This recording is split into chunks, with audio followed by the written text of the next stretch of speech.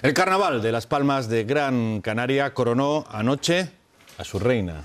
La joven Paula Miranda, que así se llama, se convirtió en la soberana con la fantasía, el lazo que nos une. Y con ella les dejamos. Volvemos, ya saben, como siempre, a las 9. Pasen buena tarde. Nos vemos. Candidatas se disputaron anoche el trono del Carnaval de Las Palmas de Gran Canaria, que cumple 40 años. 15 bellas jóvenes con espectaculares fantasías. Y una se coronó, Paula Miranda, con el diseño El lazo que nos une. El nombre es un guiño a uno de sus patrocinadores, la Asociación contra el Cáncer. Ella ya se había subido al escenario como candidata en 2013, pero este ha sido su año.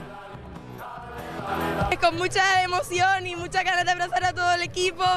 No sé, es que no tengo palabras. Gracias por confiar en mí y espero llevar el nombre de Las Palmas donde sea y bien alto. Ese premio es lo que ella transmitió a, todo el mundo, que es un aliento de esperanza y, y, de fuerza por una enfermedad que a veces castiga, pero que realmente hay que tener fuerza y esperanza para sacarla adelante.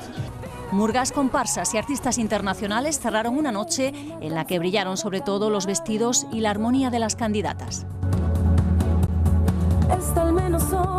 La flamante reina del Carnaval de las Palmas de Gran Canaria 2016.